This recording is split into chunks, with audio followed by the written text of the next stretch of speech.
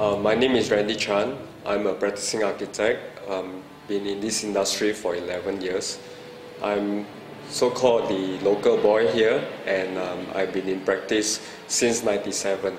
For my practice, basically, uh, it's called ZARC Collaboratives, and I think the whole idea of, of having this uh, firm name is, as the word suggested, um, it's multidisciplinary. It's all about the whole idea of tapping on the creative energy, not just from the discipline of architecture, but it's also from the various fields, from the arts to multimedia and anything that is creative, basically.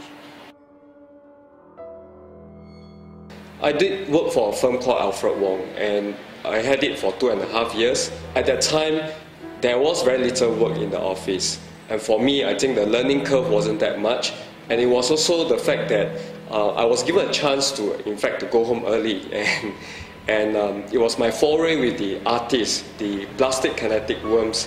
Uh, um, there was this organization which I, I have just joined. It was such an involvement that, that I started to think, hey, um, maybe I could do something for myself. And I think in that spur of moment, um, I decided to come out. I've gotten a HDB terrace house, and um, um, HDB, as everyone knows it, is, is all high rise. And uh, in this case, what I have is a SIT uh, terrace house whereby I could do a bit of my expression. I have been fortunate to, to, to, to have it published, and in fact, um, uh, that's where it started.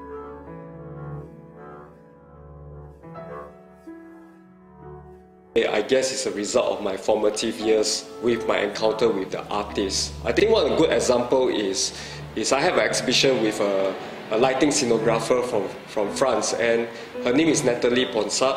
I'm quite privileged to work with her in the sense that um, from there, in fact, it triggered off to, to, to my interest in, in the scenography of, of creating um, scenes. And that's where, um, up to now, you can see that I'm, my work like the National Day, the, the Youth Olympics, uh, does involve uh, me as an architect using architecture eye as much as me as a scenographer. I think they are related somehow, yeah.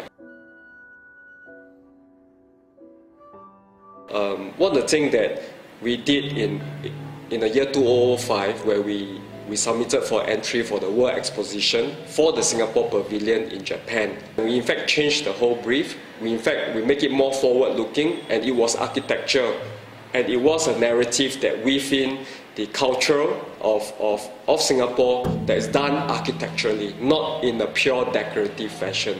I think that was a big breakthrough in the sense that that the presentation of Singapore is no longer confined to a colonial kind of motif here.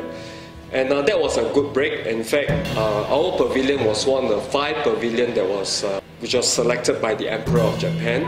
So I would say that uh, that was my break. I'm still a young architect, so I'm still formulating my, my thoughts, my thinking.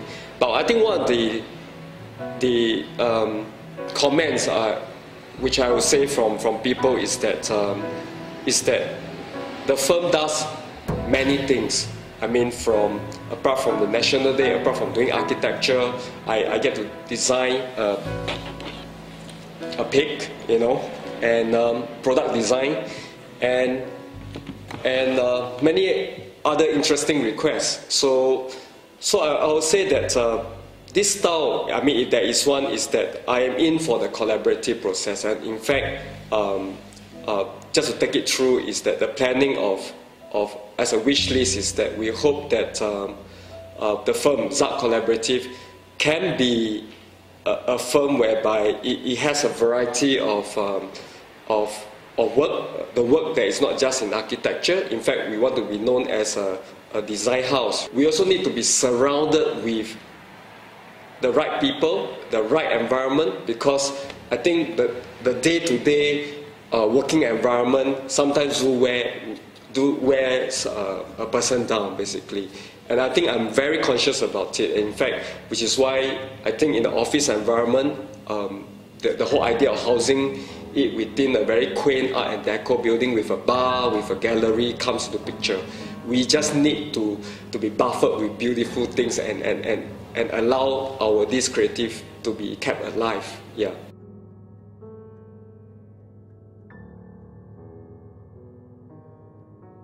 One thing for sure is, is the two keywords.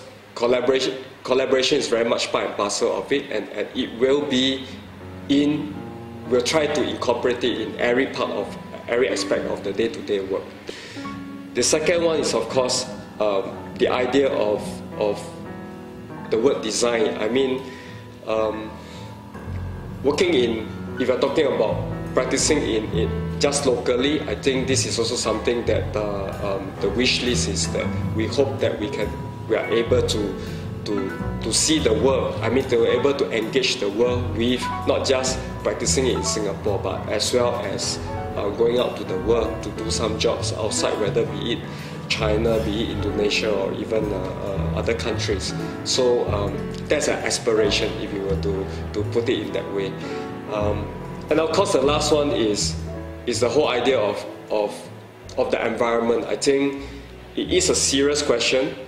Um, at times, I feel guilty about, about it in terms of, of towards the environment because, you know, for design to happen, uh, sometimes, you know, our medium is paper.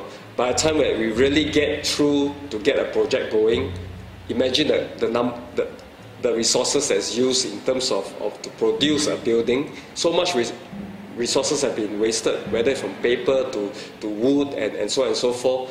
And there is this um, aspect which i am trying to deal with as well. That is that you have to play, uh, to be a responsible designer as well. I want to be as versatile, and I think um, the future plans here would be about diversity. Ho- hopefully, that we can get uh, the, that range of, of work. And uh, the other future plan for it is also this portion about um, giving back to the community. It is something that we want to do it out of our heart and out of our, our own pockets, and um, and we're striving towards that.